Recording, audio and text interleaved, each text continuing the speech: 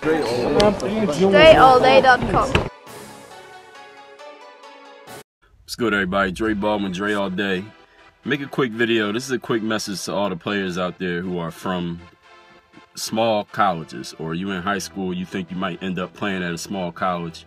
You want to possibly extend your career, take it into the professional ranks where you actually get paid to play on a team. You want to play overseas or in the D League or possibly the NBA or wherever you want to play. You want to make money playing basketball on a team.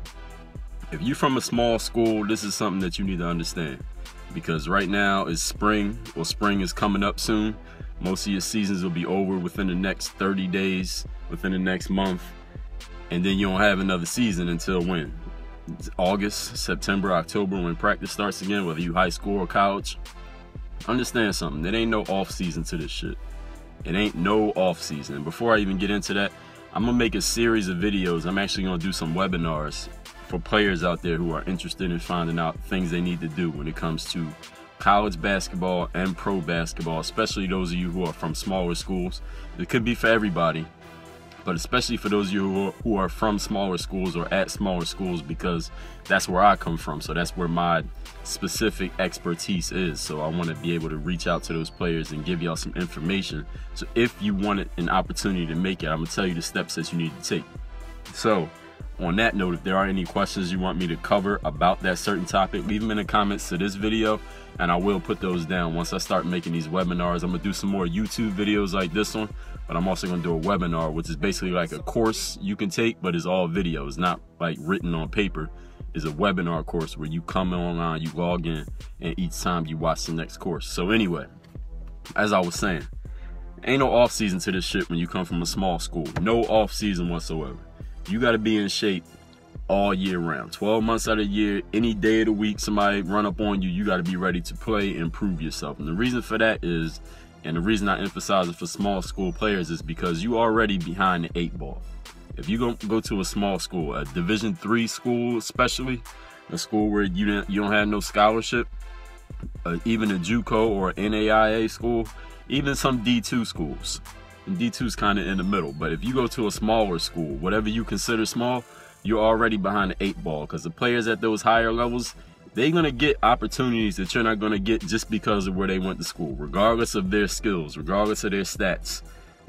Excuse me, they're going to get opportunities that you're not going to get first. They're going to get first chance at those opportunities just because of where they went. And that's just the fact of the situation. Whether it's right or wrong, it doesn't matter. It's inconsequential to this point you got to be ready at all times.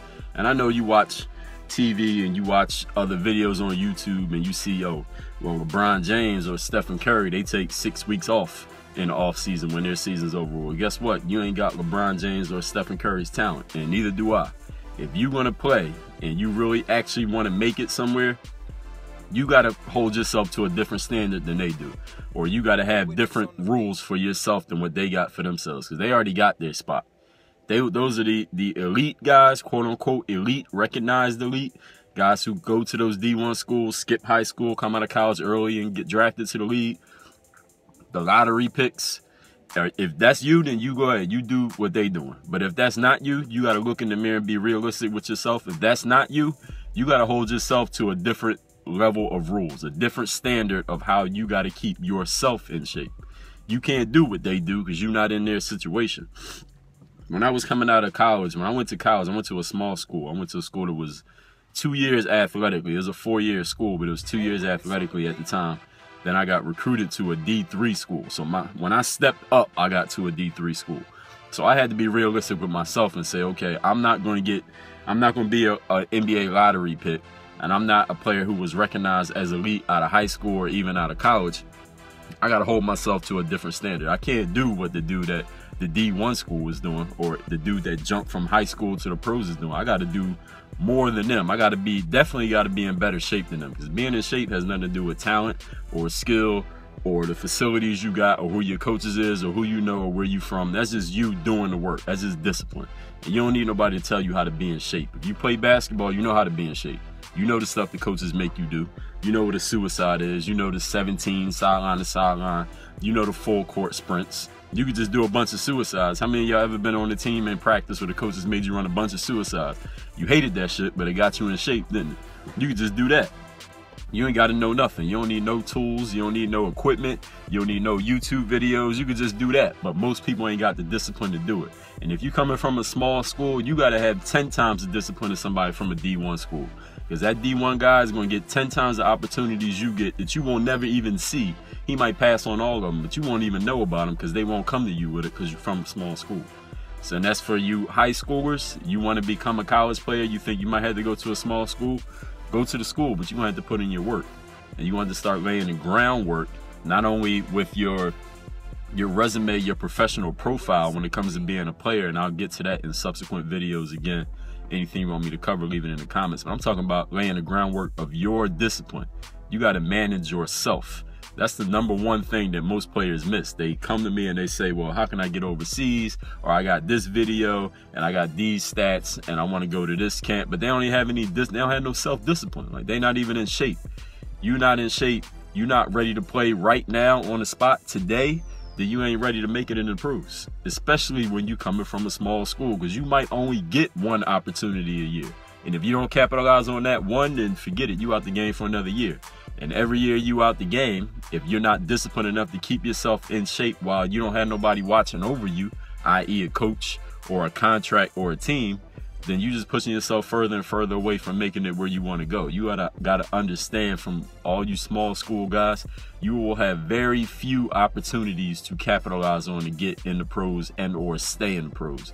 And you gotta be ready for every single one of them. So you are not those guys. You ain't got no off season. Once you get out of college, understand that this is is full time all year round. It's an all year round job. I don't care if you got a nine to five. You better figure it out. Get up two hours early and go get your workout in. Because if you're a professional, that had nothing to do with how much money you make. A professional is a person who gets up and does their job every day, no matter the circumstances going on within or externally. And I'm gonna come out with more of these vids. Let me know what you want to see, what you want me to talk about down there in the comments. Hopefully this is useful to at least one person out there watching. Work on your fucking game. Dre all day.